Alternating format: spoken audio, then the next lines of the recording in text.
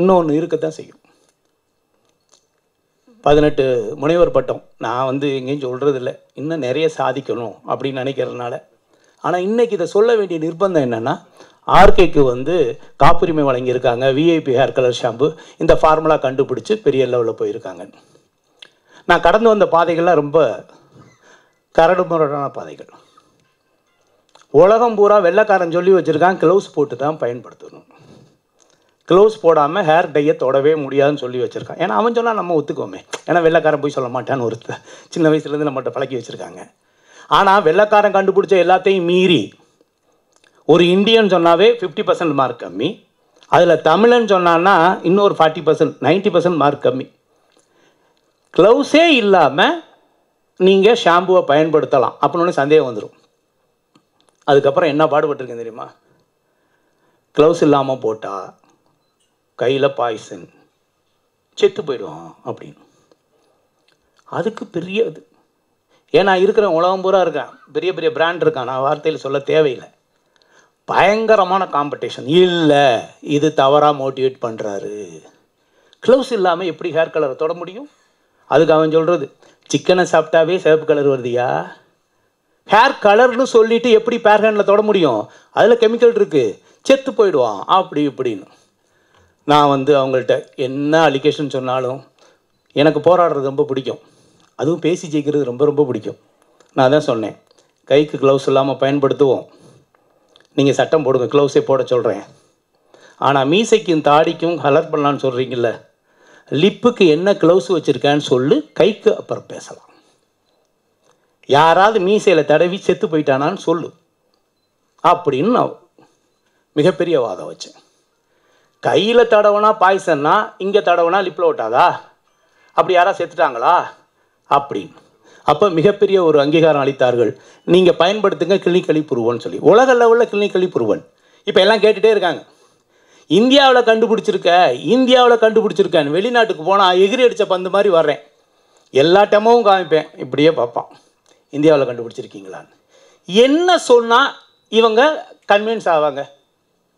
Product கொடுத்துட்டேன் demo கொடுத்துட்டேன் எல்லா சர்டிஃபிகேட்டும் வச்சுருக்கேன் ஜிஎம்பி வச்சுருக்கேன் டபிள்யூஹெச்ஓ ஜிஎம்பி வச்சுருக்கேன் உலகத்தில் உள்ள அத்தனை சர்டிஃபிகேட் வச்சுருக்கேன். நான் இந்தியாவில் பிறந்தது மட்டும்தான் தப்பு.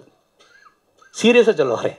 நான் இதே அமெரிக்காவில் லண்டனில் பிறந்து இதை கண்டுபிடிச்சிருந்தேன்னா இன்றைக்கி இன்னைக்கு வேறு லெவல் அப்போ வெளிநாட்டுக்காரர்களை எங்கே நம்ம வந்து கன்வெர்ட் பண்ண முடியும்னு யோசித்தனால கின்னஸ் ரெக்கார்டு எனக்கு தெரியும் என்ன பண்ணால் அவங்கெல்லாம் கன்வெர்ட் ஆவாங்கன்னு. அப்போ கூட எனக்கு இந்தியன்கிற ஒரு வெறி இருந்துச்சு. அதனால தான் சுதந்திர தினத்தன்னைக்கு அதை பண்ணேன். தேசிய கொடி போட்டு பண்ணேன். தலையில் இருக்க வெள்ளையனை கூட இந்தியன் அனுமதிக்க மாட்டோம்டா. ஆர்கே கண்டுபிடிச்சிருக்கேன்டா. கற்பில் மாத்திரா எல்லாம் அப்படின்னு சொல்லிட்டு. அதான் உண்மை. அந்த டேட்டு பார்த்தீங்கன்னா தெரியும். எனக்குள்ள வெறி. நான் இந்தியன்டா. ஃப்ளாக் பார்த்தீங்கன்னா தெரியும். அவ்வளோ பெரிய எதுக்கு செலவு பண்ணுறேன் ஃப்ளாக்குக்கு செலவு பண்ணியிருக்கேன். இது இந்தியன் ப்ராடக்ட்டுன்னு இந்திய அரசாங்கத்தில் ஃபைட் பண்ணுறேன் வெளிநாட்டுக்காரன் செலவு பண்ணுறேன் எனக்கு பேட்டர்ன் கொடுக்கக்கூடாது ஏன்னா ஒரு பேட்டன்ட் இருபது வருஷங்கிறது உலக லெவலில் எடுத்துகிட்டு போகிற டூல்ஸ் இன்றைக்கி உலக பணக்காரர்கள் சொல்லிக்கிட்டே இருக்கோம். என்னதே பேர் சொல்லிக்கிட்டு இருக்கோம். ஏன் ஒரு தமிழன் சொல்லப்படாதா? ஒரு கண்டுபிடிப்பு வரப்படாதா? ஐந்து ஆண்டுகள். நீ என்ன வேணாலும் கேள்வி கேளு. எல்லா எவிடன்ஸும் நான் தரேன். நீ என்ன வேணாலும் கேள்வி கேளு. ஏன்னா இது சயின்ஸ் இது ப்ரூவன் ரெண்டாவது ஐந்து ஆண்டுகள் மக்களால் ஏற்றுக்கொள்ளப்பட்டு மாபெரும் வெற்றி அடைஞ்ச ஒரு ப்ராடக்ட் லாஸ்ட் வீக் இந்த இருபது ஆண்டுகளுக்கான காப்புரிமையை எனக்கு வழங்கியது இந்த அரசாங்கம். ஏன்னா இது பெரிய சாதனை. எதுக்காக சாதனைனா எனக்கு கொடுத்துட்டாங்கன்னு சாதனையை விட எத்தனை பேர் கொடுக்கக்கூடாதுன்னு செலவு பண்ணியிருப்பான் அதை யோசிச்சு பாருங்கள் டக்குன்னு அப்படியே கன்வெர்ட் ஆகிடுமா ஆகாதா? நான் வந்துட்டு சொல்லிக்கிட்டு இருக்கேன் காம்படேட்டரே கிடையாதுன்னு. சொல்லிக்கிட்டு இருக்கேன் காம்படேட்டர் கிடையாது. உலகத்திலே வெறுங்கையால் இந்த ஷாம்புவை தொட்டு பாரு அப்படின்னு சொல்கிறேன் கடைக்காரன்ட்ட சொல்லியிருக்கேன். டிஸ்ட்ரிபியூட்டர் சொல்லியிருக்கேன் உலகத்தில் சொல்லியிருக்கேன். இந்த கடையில் மாட்டிருக்க அத்தனை சரக்கு அடியா கட் பண்ணி பேரண்டில் தொட்டுறியா பார்ப்போம் ஆனால் நான் தொடுறேன். கையில் ஓட்டுச்சுன்னா சொல்லு. ஆனால் இதை ஏற்றுக்கிறதுக்கு அஞ்சு வருஷம் ஆச்சு. இன்றைக்கி அரசாங்கம் அந்த காப்புரிமை வழங்கினாங்க. இப்போ நான் எதுக்காக சொல்ல வரேன் கடந்து வந்த பாதைகளில் பதினெட்டு முனைவர் பட்டமும் எனக்கு உதவி செஞ்சது. இவ்வளோ பதவி கொடுத்துருக்காங்க. ஆனால் இவ்வளவும் தாண்டி இந்த அரசாங்கம் காப்புரிமை வழங்கியதை வாழ்நாள் சாதனையாக நான் நினைக்கிறேன். அதில் மாற்றமே கிடையாது. சினிமாவில் டைலாக் பேசிடலாம். ஆனால் நேச்சுரலாக டைலாக் பேசி ஒரு வார்த்தையை கொண்டாடுறதுங்கிறது பெரிய விஷயம். அது மட்டுமல்ல இந்த உலகத்தில் இதுவரைக்கும் இல்லாத ரெமிடி கொரட்டையினால் மக்கள் எவ்வளவு அவதிப்படுறாங்கன்னு எல்லாருக்கும் தெரியும். புருஷன் பண்ண டைவர்ஸ்லேருந்து இந்த ரூமில் தூங்கினா அந்த ரூமில் நம்ம நண்பர்கள் நாலு பேர் ரூமில் போய் படுத்துட்டோம்னா முடிஞ்சுச்சு விஷயமே. கொண்டுடுவேன் கொரட்டை விட்டானா எந்திரிச்சு லாபியில் உட்காந்துருக்கதா தை இன்னமே என் ரூமில் மட்டும் நீ வராத. சில பேர் சொல்லுவான் பக்கத்து ரூம்லையும் கேட்குதுடா அப்படின்னு. ஃப்ளைட்டில் ஏறி உட்காந்து டேக்கப் ஆகுங்க அந்த ஃப்ளைட் சவுண்டை விட இவன் சவுண்டு எக்ஸ்ட்ரா கேட்டுட்டு இருக்கும் ஒருத்தன் டர்னு விட்டுட்டு இருப்பான். எங்கே பார்த்தாலும் இன்னும் அலுவலகத்தில் யாராவது லாபியில் உட்காந்துருந்தாங்கன்னா தூங்கணும்னு கொட்ட விட்றேன் அப்படி அப்போ எழுப்பணும் சார் சார் அப்படின்னு சொல்லணும். எதுக்காக சொல்ல வரேன்னா கொரட்டை வந்து ஒரு நோய். நிறைய பேர் ஏர்லி மார்னிங் செத்து போயிடுவாங்க.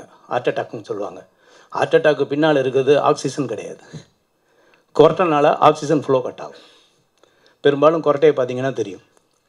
அதாவது இன்ஹேல் பண்ணுறவன் அப்படிமா எக்ஸல் பண்ணுறவன்ல எங்கேருந்து இவ்வளோ வரும்? அப்போ வரவுக்கு எப்படி பணம் இருக்கோ அதே மாதிரி தான் செலவு அதிகமாக இருக்க மாதிரியே தான் நைட்டில் இந்த கொரட்டை வந்ததுக்கப்புறம் ஆக்சிஜன் ஃப்ளோ கம்மியாகும். அதனால தான் ஹார்ட் அட்டாக் வரும். இதுக்கு ஒரு ப்ராடக்ட்டு ஹண்ட்ரட் பர்சன்ட் நேச்சுரல் ஒரு தமிழனா கொரட்டைக்கு ரெமெடி கண்டுபிடிச்ச ஒரே ஆள் இந்த உலகத்தில் ஆர்கே தான். இதுவும் மார்க்கெட்டில் மூணு ஆண்டுகளாக இருக்குது இதுக்கு விளம்பரம் கொடுத்துருக்கோம். இதுக்கும் காப்புரிமையை இந்திய அரசாங்கத்திடம் அனுமதி பெற்றிருக்கேன். உலக லெவலில் எனக்கு இந்த கொரட்டைக்கான காப்புரிமை வழங்கப்படும். அது உங்கள்கிட்ட சர்டிஃபிகேட்டு காமிப்பேன். அடுத்த ஃபங்க்ஷனில் நிச்சயமாக காமிப்பேன். அதில் மாற்றமே கிடையாது. ஏன்னா இந்த உலகத்தில் எந்த இடத்துல எதை கண்டுபிடிச்சா அடுத்த லெவல் நம்ம வெற்றி அடைய முடியும்னு ஆராய்ச்சி பண்ணி அதை செஞ்சுக்கிட்டு இருக்கேன். எப்போவுமே எனக்கு வந்து இவ்வளோ சர்டிஃபிகேட் காமிச்சாங்க எல்லோரும். பதவி வச்சுக்கிட்டு இருக்கேன். இன்னும் நிறைய இருக்குது மினிமம் அவாய்ட் பண்ணிவிடுவோம் ஆனால் நான் எனக்கு ரொம்ப ஆசை. நான் எப்போ கூப்பிட்டாலும் இந்த பத்திரிகை நண்பர்கள் மேலே எனக்கு ஒரு தனி தெரியும் பழகுனவங்களுக்கு எல்லாருக்கும். நான் வந்து என்ன நினச்சேன்? இவ்வளோ தூரம் இருக்காங்க. நமக்கு ஏதாவது ஒரு இது வேணும் அப்படின்ட்டு. உங்களில் ஒருத்தனாக இருக்கணும் அப்படின்னு முடிவெடுத்தேன். என்ன பண்ணலாம்? நம்ம ப்ரெஸ்ஸில் ஒரு மெம்பராக இருக்கலாம். அப்படி. அமெரிக்காவில்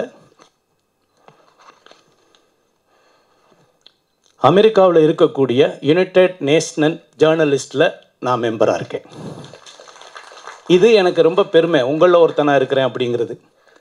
எதுக்காக அப்படின்னா எதை செஞ்சாலும் கிரேட்டாக செய்யணும்னு ஒரு எண்ணம் உண்டு. அதனால் இங்கே வாங்கலன்னு நினைக்காதீங்க. அமெரிக்காவில் ஒரு தமிழன் ஜேர்னலிஸ்ட்டாக இருக்கேன். நம்மால் ஒருத்தன் சொல்கிறதுக்காக இதுதான் எனக்கு மிக கிடைச்ச பெருமையாக நான் நினைக்கிறேன். உலகம் பூரா அந்த காடை காமிப்பேன். எங்கேயாவது போனால் இந்தா அப்படிங்கிற அளவுக்கு. மேலும் வாழ்க்கையில் அடுத்த லெவல் அடுத்த லெவல் வெற்றிக்கு மக்களுக்கு சேவை செய்தால் அப்படிங்கிற ஒரு கான்செப்டில் தான் ட்ராவல் பண்ணிகிட்டு இருக்கிறோம். நிச்சயமாக இந்த காப்புரிமைக்கு அப்புறம் இதுவரைக்கும் ஐந்து ஆண்டுகள் இருந்ததை விட அடுத்த லெவல் போகிறதுக்கான மிகப்பெரிய ஆப்பர்ச்சுனிட்டியாக அந்த ப்ராடக்ட் அமையும். அதே நேரத்தில் குரட்டையும் நான் வந்து பேட்டன்ட்டு மிக விரைவில் கிடைக்கும். ஏன்னா காம்படிஷனே கிடையாது. அதுக்கு யாருமே கிடையாது. நான் தான் கண்டுபிடிச்சிருக்குது நிச்சயமாக அதுவும் கிடைக்கும். இந்த ஒரு அற்புதமான சந்தர்ப்பத்தில் சினிமாவை தாண்டி உங்களை சந்திக்கணும் அப்படின்னா பெரும்பாலும் உறவுகள்கிட்ட சொல்லினா ஒரு சந்தோஷம் வரும்.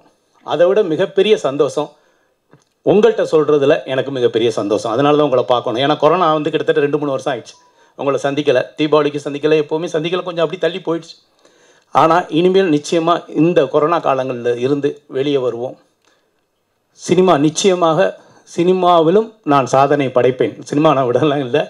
விட்டு போயிட்டான்னு நினைக்காதீங்க. மூணு வருஷம் கொரோனாங்கிறனால கொஞ்சம் ஒதுங்கி இருக்கும். ஏன்னா பணம் போடுறவங்க தான் தெரியும் அதுபடி வழி என்னென்னு.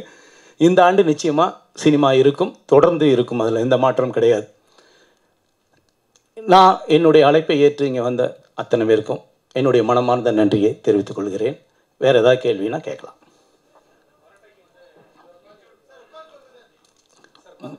அதெல்லாம் ஒன்று ஹேர் கலர் ஷாம்பு வந்து லிக்விட் ஃபார்முலா உலகத்தில் இருக்கலாம் க்ரீம் பேஸில் இருக்கும் பார்த்தீங்கன்னா.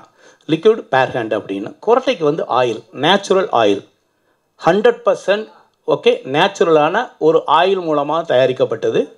அதுக்கு வைங்க. அதுக்கு ஒன்றும் இல்லை. நாலு சொட்டு எடுத்து உச்சந்தலையில் இங்கே தடவிட்டு ஒரு நாலு சொட்டு எடுத்து தொண்டையில் தடவுங்க. ஏழு நாள் தொடர்ந்து தடவுங்க. உங்களுக்கு கொரட்டை நின்றும். சவுண்ட் ஸ்லிப் வித்தவுட் சவுண்டு இங்கே இருக்கவங்களுக்கு யாருக்காவது கொரட்டை இருந்துச்சுன்னா ஜான்கிட்ட சொல்லுங்கள் நான் அத்தனை பேருக்கும் ஒரு சாம்பிள் தரேன். இதுக்கு கைதட்டலாமே. அதாவது மற்ற எல்லா பிரச்சனையும் எல்லா நோயும் நமக்கு பிரச்சனைங்க. கொரட்டை பக்கத்தில் இருக்கவங்க பிரச்சனைங்க. அதான் பெரியது. இல்லையா? ஆமாம் நிச்சயமாக அத்தனை பேருக்கும் கொரட்டை ஆயில் தர சொல்கிறேன் அது வந்து hundred percent natural oil leaves oil okay அது கிளினிக்கல் ஸ்டடி முடிச்சு வச்சுருக்கேன். உலகத்துக்கே அப்ரூவ் ஆன கிளி அதெல்லாம் இருந்தால் தான் நீங்கள் பேட்டன்ட்டுக்கு போக முடியும். கிட்டத்தட்ட ஒரு நூறு பேரை இரவு பகல் ஸ்லீப் குவாலிட்டி என்ன சவுண்ட் குவாலிட்டி என்ன ஆக்சிஜன் ஃப்ளோ என்ன அப்படிங்கிற எல்லாத்தையும் கணக்கெடுத்து இன்னைக்கு தடவைனா என்ன நாளைக்கு தடவைனா என்ன பதினஞ்சு நாள் தொடர்ந்து தடவை வச்சு கிளினிக்கல் ஸ்டடி முடிச்சு எல்லாம் சப்மிட் பண்ணியிருக்கேன். I have a copy soft copy VIP snore care oil ஆ இப்போ ரீசெண்டாக ரயில் என்ஜினில் விஐபி ஹேர் ஆயில் இந்த இது ஹேர் ஷாம்பு ஆ, அதாவது இந்த வைகைஸ்வரில் செட்டு போட்டு செட்டு போட்டு ட்ரெயின் என் கூட ரொம்ப அந்நியோன்யம் ஆயிடுச்சு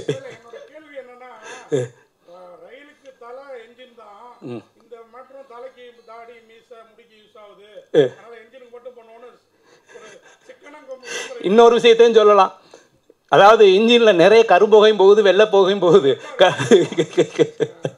அதாவது என்கிட்ட வந்து சொல்லும்போது எல்லா விதமான பப்ளிசிட்டி யூஸ் பண்ணிகிட்ருக்கோம் கிட்டத்தட்ட மீடியாவுக்கு ஒரு ஆண்டுக்கு குறைஞ்சது முப்பது கோடி ரூபாய் செலவு பண்ணுறேன் மீடியாவுக்கு.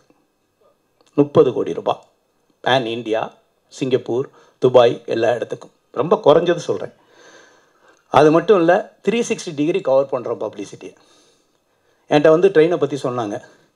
மறைமுகமாக அரசாங்கத்துக்கு ஒரு வருமானம் இன்றைக்கி உள்ள பொசிஷனில் அதனால் பத்து இன்ஜின் எடுத்திருக்கோம் சவுத் இந்தியாவில் பத்து ரயில்கள் ஓடுது. இந்த மா இ- குறைஞ்சது ஐம்பது இன்ஜின் இந்தியாவில் டெல்லியிலேருந்து கன்னியாகுமரி வரைக்கும் ஓடும். நிச்சயமாக அந்த விளம்பரம் பண்ணப்படும். கொஞ்சம் கன்வெர்ட் பண்ணியிருக்கோம் அதுவும் டிஜிட்டல் மீடியாவில்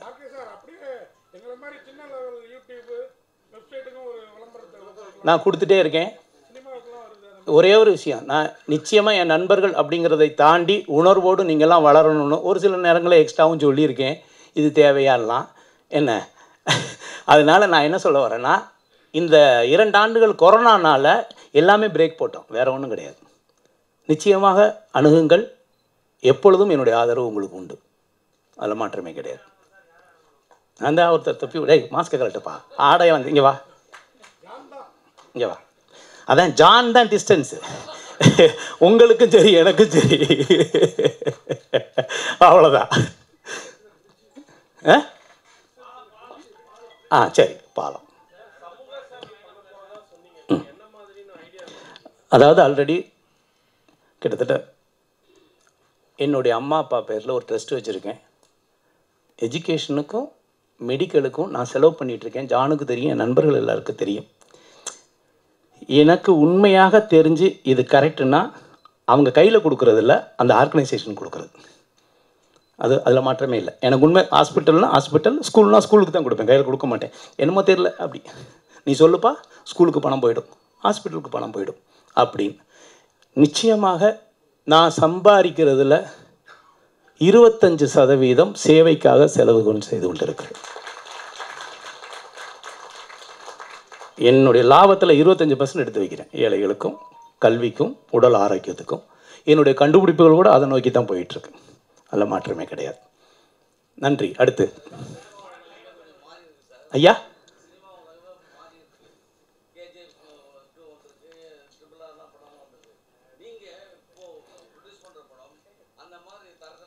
நிச்சயமாக ரியல் கிங் மாதிரி இருக்கும்.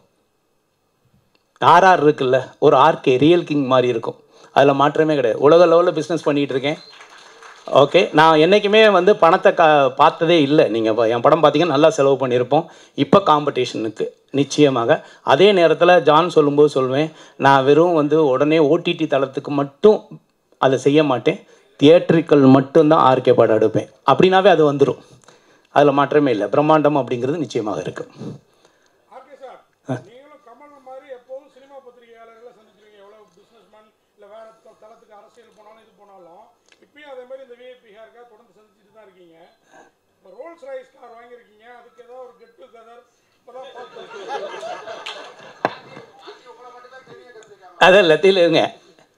கெட் டூகெதர்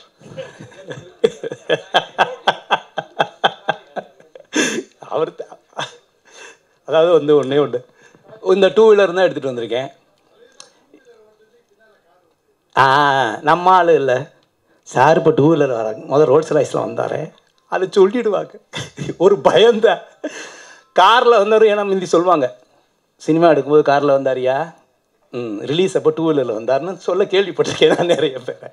அது மாதிரி என்னையான்னு கேட்டால் இல்லை இல்லை ரோட் சாய்ஸ் வந்தார் போன மீட்டிங்க்கு அப்புறம் இந்த மீட்டிங் டூ வீலரில் ஹெல்மெட் போட்டு வந்துக்கிட்டு இருக்காருயா அப்படின்னு சொல்லிடக்கூடாதுல்ல. ஐயா இல்லை. உலகத்திலே அதிவேகம் போகிற வெஹிக்கிள் இந்த டூ வீலர் ராக்கெட் த்ரீன்னு பேர் ட்ரயம் பயங்கரமான இன்ஜின் இதை ஓட்டுறதுக்கு ஒரு கட்ஸ் வேணும். நிச்சயமாக இது இதோடைய வெயிட் வேறு. நீங்கள் சாதாரணமான ஸ்டாண்ட்லாம் இப்படிலாம் பிடிச்சிட முடியாது இப்படிலாம் தள்ளிட முடியவே முடியாது. ஓகே நான் என்ன நினைப்பேன்? எதை செஞ்சாலும் இவ்வளோ பேர்கிட்ட டாக்டர் பட்டம் வாங்கணும்னு நினைக்கும் போது உலகத்திலே மிக சிறந்த வெஹிக்கிள் தானே வச்சுருக்கணும் அப்படிங்கிறதுக்காக அதனால தான் இந்த வெஹிக்கிள் வாங்கியிருக்கிறேன். இதை ஓட்டி இருக்கிறேன் ட்ராக்லையும் ஓட்டி இருக்கிறேன் ஓகே வெளியிலையும் ஓட்டுறேன். ஒரு ஜர்க் அடித்து பார்க்குறாங்க. சார் சிட்டிக்குள்ளே ஓட்டுறீங்களா? அப்படின்னு. ஏன்னா இது வேன் வச்சு கொண்டு போய் ட்ராக்கில் தான் ஓட்ட முடியும். நான் மகாபலிபுரம் வரைக்கும் போயிட்டு வந்தேன். போகும்போது மிரட்டினாங்க. சார்னாங்க மகாபலிபுரம் வரைக்கும் போயிட்டு ரிட்டர்ன் வரும்போது கைவிட்டு ஓட்டி காமிச்சேன். நான் வீடியோ வச்சுருக்கேன். இந்த வண்டியை கைவிட்டு ஓட்டி காமிச்சேன். ஆமாம் ஏன்னா சினிமாவில் இருக்கோம். நாளைக்கு ஒரு டேரக்டர் டேரக்டர் இதை சொல்லிட்டா செய்யணுமா வேணாமா? தயாராக இருக்கணுமா இல்லையா? அதுக்காக அதுக்காக தான் வருது. வண்டி இங்கே இருக்கும். போகும்போது ரோல்ஸ் ராய்ஸில் போவேன்.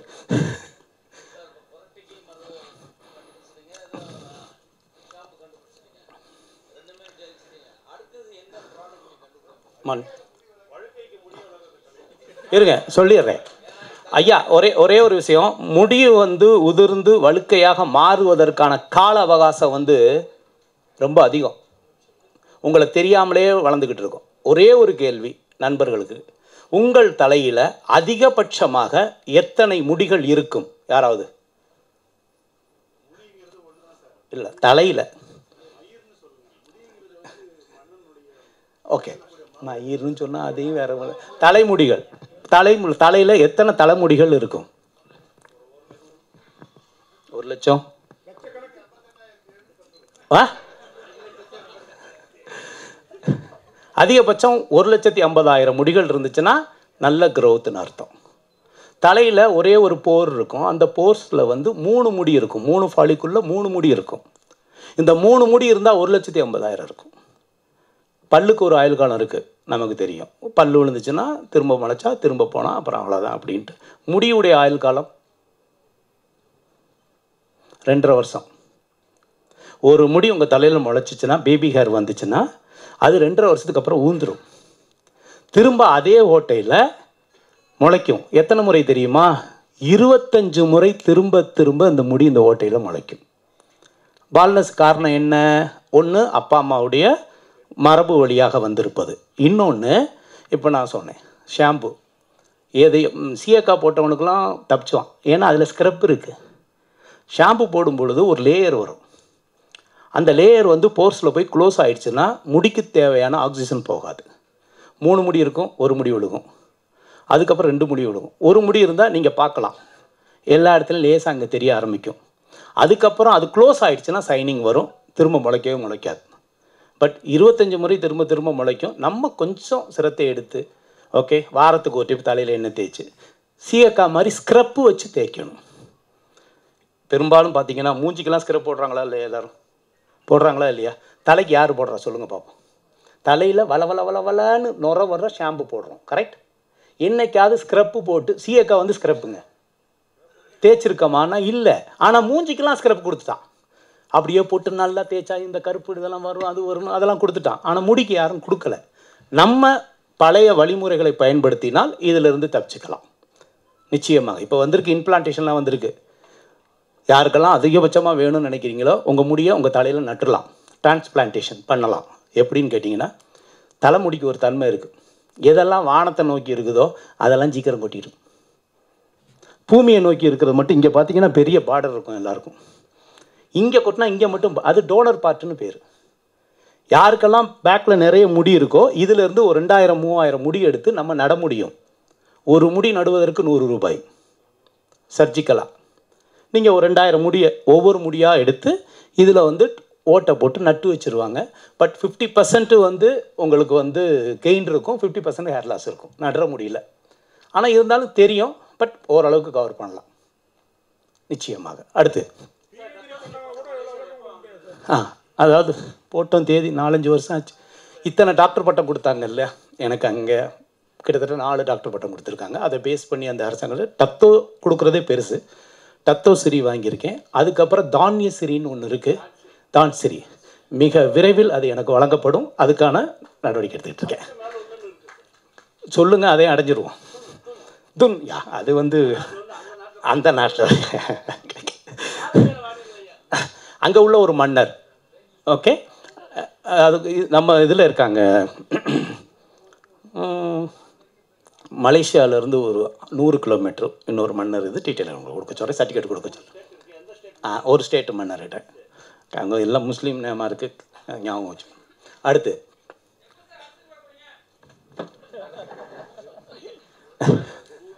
ரொம்ப சந்தோஷம். அதாவது வந்து நான் எப்போவும் அரசியல் பற்றி பேசும்போது ஒன்று சொல்லுவேன். சின்ன பிள்ளையா இருக்கும்போது எங்கள் வீட்டில எல்லாம் வந்து மகாத்மா காந்தி ஃபோட்டோ நேரு ஃபோட்டோ இருக்கும் கோகுலே ஃபோட்டோ இருக்கும் ஜான்சி ரேணி ஃபோட்டோ இருக்கும் சொல்லும்போது சொல்லுவாங்க. இவங்கெல்லாம் இந்திய தேசிய தலைவர்கள் அப்படின்ட்டு. ஆனால் இன்றைக்கி இந்தியாவில் இந்திய தேசிய தலைவர்கள் யாரும் இல்லை. ஜாதிக்கான தலைவர் இருக்கிறார் மொழிக்கான தலைவர் இருக்கிறார் இனத்துக்கான தலைவர் இருக்கிறார். இந்தியாவுக்காக எந்த தலைவர் இருக்கார்? ஏதோ ஒரு விஷயத்தில் ஒரு இதை சார்ந்து இருக்கிறாங்க. அந்த காலத்தில் அப்படி இல்லை. டோட்டல் இந்தியாவுக்கான தலைவர் இருக்காங்க. அதனால் அரசியல் அப்படிங்கிறது வந்து இப்பொழுது அல்ல எப்பொழுதும் இல்லை. அது உண்மையாக சொல்கிறேன் அப்புறம் மாறுவேன் அப்படிங்கிறதுக்கெலாம் இல்லை. வேண்டாம் அதுக்கு நிறைய பேர் இருக்காங்களே நம்ம கண்டுபிடிக்கிறதுக்கு இன்னும் நிறைய இருக்குது அடுத்த ஆராய்ச்சியில் ஈடுபட்டு இருக்கேன். டபிள்யூஹெச்ஓ சுகர் பேஷண்ட்டுக்கு யாருக்காவது வந்து ஊண்டு வந்துருச்சுன்னா கட்டை வரல. கட் பண்ணி சுண்டி வரல. கட் பண்ணி காலை கட் பண்ணணும். என்னதான் டாக்டர்கிட்ட போனாலும் நாற்று அடிக்கும். ஜொல்லா அப்படியே. வீட்டுக்குள்ளே இருக்க முடியாது. இது வரைக்கும் ரெண்டாயிரம் பேருக்கு அந்த மாதிரி ஊண்டை க்யூர் பண்ணியிருக்கேன் இந்த ஆர்க்கை இலவசமாக கொடுத்துக்கிட்டு இருக்கேன் எல்லாருக்கும். யாராவது உங்கள் நண்பர்கள் இருந்தாங்கன்னா ஜான்கிட்ட சொல்லுங்கள் டபிள்யூஹெச்ஓ wound ஹீலிங் ஆயின்மெண்ட் அப்படின்னு சுகர் பேஷண்ட்டுக்காக வீட்டுக்குள்ளே இருக்க முடியாதுங்க. நான் கொடுக்குற இந்த ப்ராடக்ட் பதினஞ்சு நாள் தொடர்ந்து தடவுனாங்கன்னா மறுபடியும் புண்ணு இருக்காது. ரெண்டாயிரம் பேர் கொடுத்துருக்கேன். இன்னும் இருபதாயிரம் பேருக்கு இலவசமாக கொடுக்குறேன். வருவோம். ஒரே நேரத்தில் எல்லாத்தையும் போட்டோம்னு அது இருக்குது நம்மளாம் இனிமையான மனிதர்கள்.